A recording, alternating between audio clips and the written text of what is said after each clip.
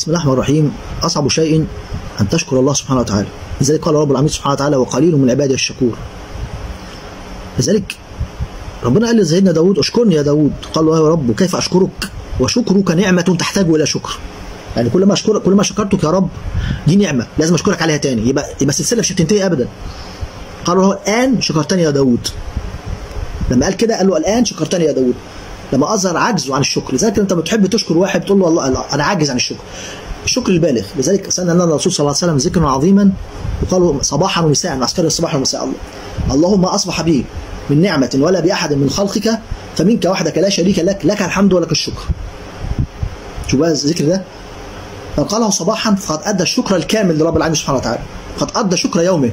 ومن قاله في المساء فقد أدى شكر ليلته.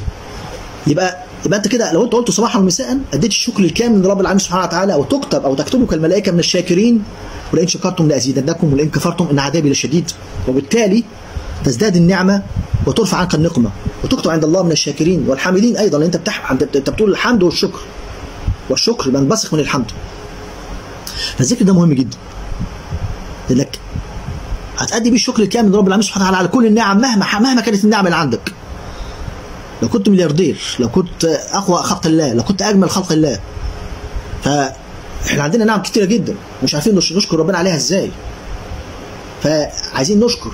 فالرسول قال لنا لو أنت قلت الجملة ديت صباحا ومساء يبقى أديت الشكر اليوم وأديت شكر الليلة.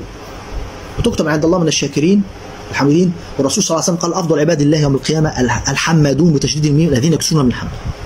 فيا ريت نكسر من هذا الذكر يوميا أو مش نكسر على تدخلوا مرة صباحا ومساء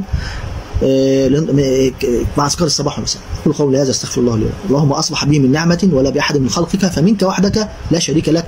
لك الحمد ولك الشكر.